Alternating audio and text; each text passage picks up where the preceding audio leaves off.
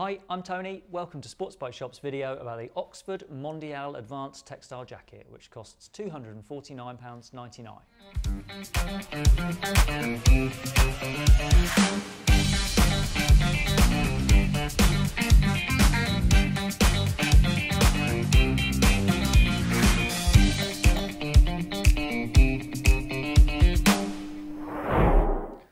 Oxford have been really busy launching their own clothing range over the last few years, and the Mondial is one of their most popular textile jackets.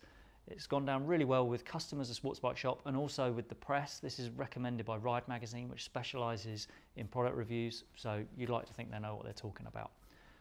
The main construction is a nylon finish, which gives a more matte kind of finish than polyester, but also gives the same abrasion resistance results. It's got a classier feel to it for being nylon rather than polyester. There are overlays of reinforcement at the shoulders, the elbows, and also at the section just behind the hip here to give a bit more abrasion resistance.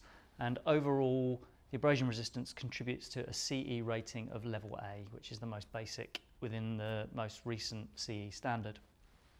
To give you some flexibility and a bit of versatility, there are accordion stretch panels just above the elbow on each side, and then there are fit adjusters at the bicep and also at the waist, which allow you to take up the slack that's created if you take out the thermal liner, which I'll get to in a moment.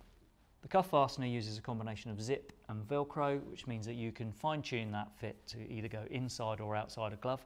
I found that you can get a reasonably chunky winter glove inside the cuff of this jacket, but it might be a bit of a squeeze.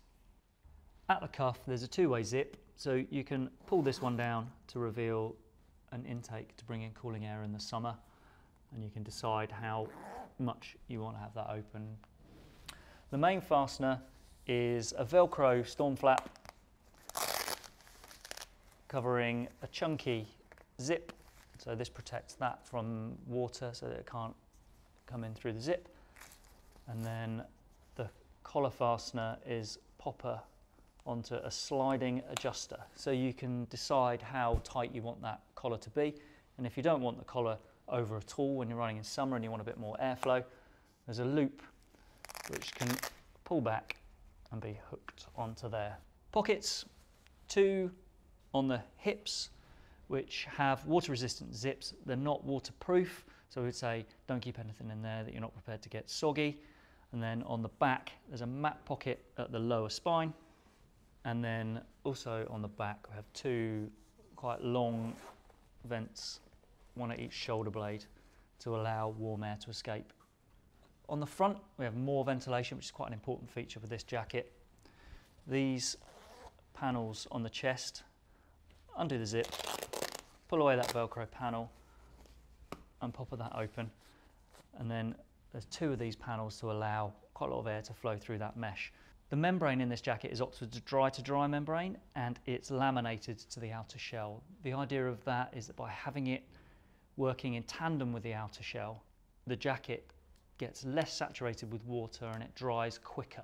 The other benefit of that is that these vents can be direct air to body. Because we've pulled away the membrane, that will come straight through to your body without having to go through the membrane.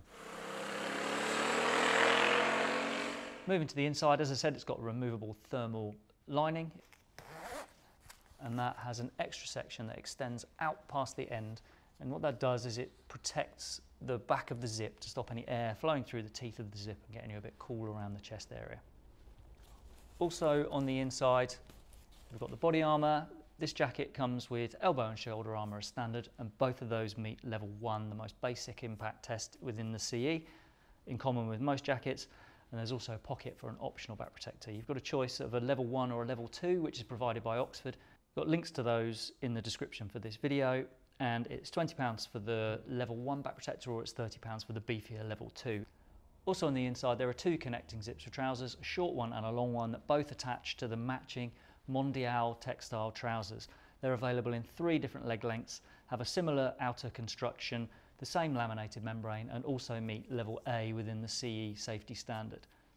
As I said, the Mondial jacket's been really popular with customers in the time that it's been around. There are lots of compliments within customer reviews and the average score for it is 4.75 out of 5, which is very respectable. Within those customer reviews, if there's anything that is a criticism of this jacket, then it's about the neckline. Quite a few people within the reviews say the neck is quite low.